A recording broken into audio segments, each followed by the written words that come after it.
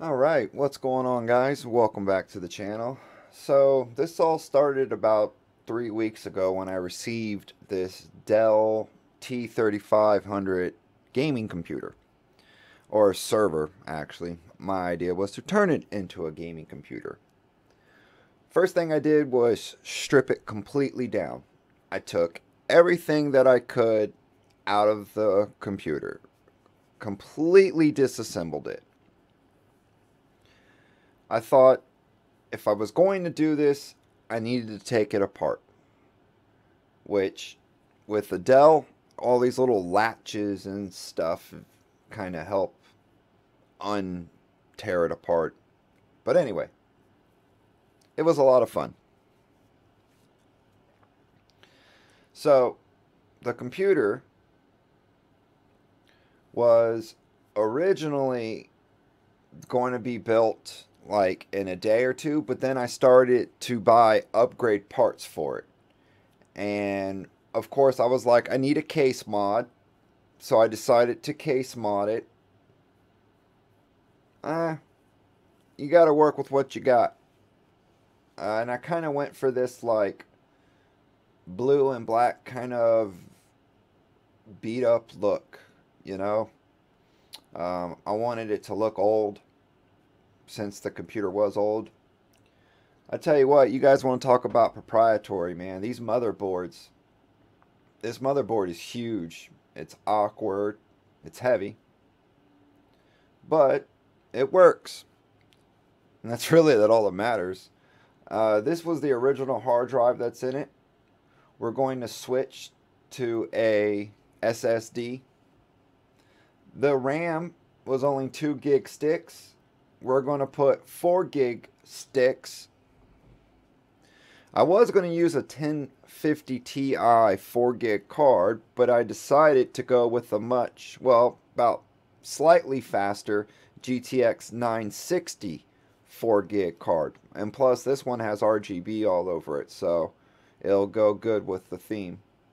The original 12 volt fans, I decided to switch out to some AGIO 120 millimeter fans to add a little color to the front of the case.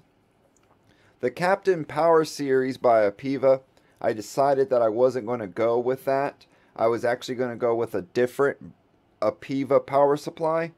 Uh, it's about 100 watts more and modular, semi-modular, plus there's RGB on the fan.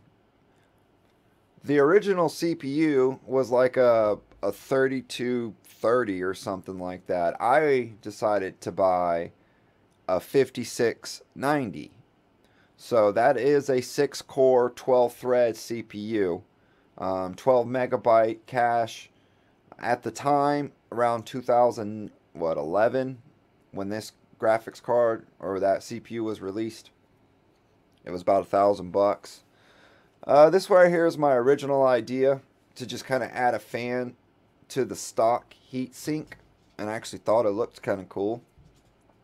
This is what I wanted to add to it, but I couldn't get the stupid back plate off.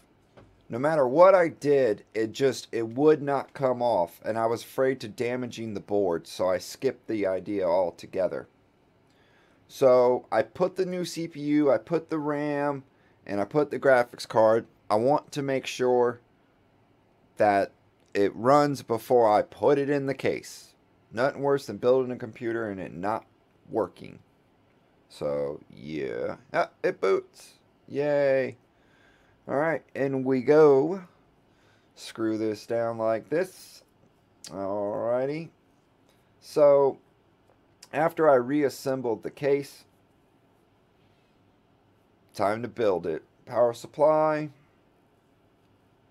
Screw this in. You know, it was a lot of fun uh, making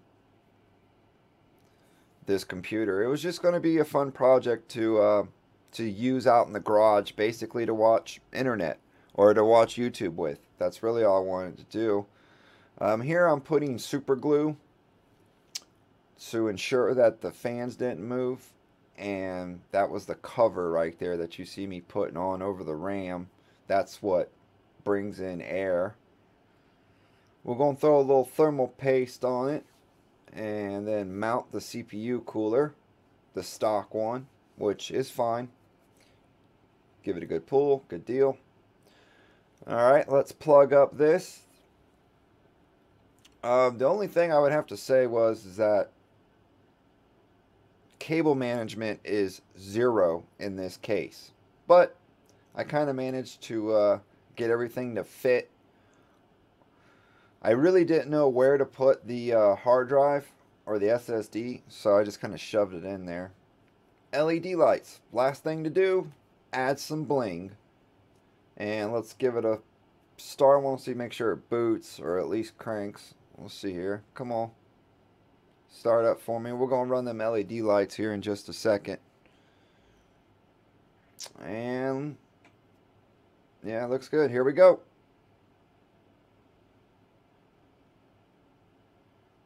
All right. Boot. Cool.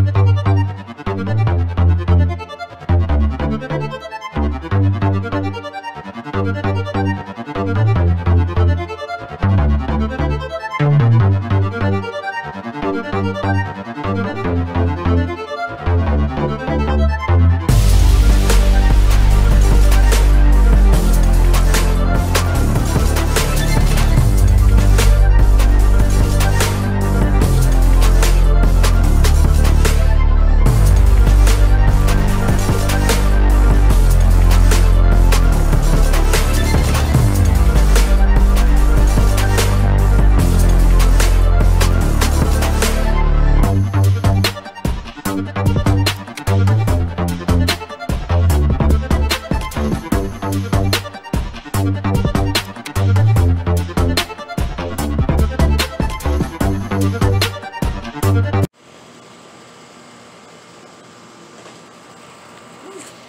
that line. Oh yeah. Yeah, got you some good stuff. Oh yeah. All right. Thanks, brother. Have a good one, man. Yeah. All right, UPS.